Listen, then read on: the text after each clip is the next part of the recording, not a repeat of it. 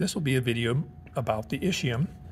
You'll recall that the os coxae is composed of the ilium, ischium, and pubis. So this will be a video about the ischium, and it can be found on page 22 of your blue bone packet.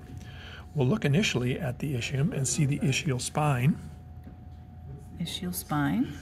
Which is important when delivering babies because you can feel where the spine is in relation to the baby's head, which helps see how far along the baby is uh, towards delivery. There's the lesser sciatic notch. Lesser sciatic notch is right below the ischial the, spine. Then the ischial tuberosity.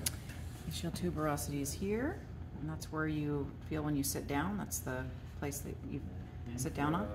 And the inferior ramus of the ischium.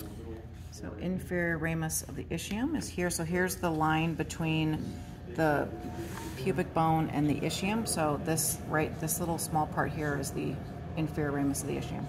And the obturator foramen. And obturator foramen is here.